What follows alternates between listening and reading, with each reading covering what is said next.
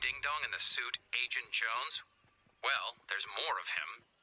And they've started their own society of dorks. So, how about bring them some supplies as a peace offering, and then scout their camp to assess the threat level? Well, look at that. A little drawing of Sloane. And the Foundation, with knives pointing at them. It's probably nothing.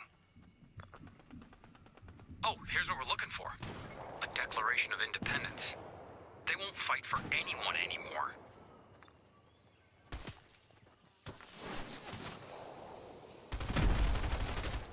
So it seems like they're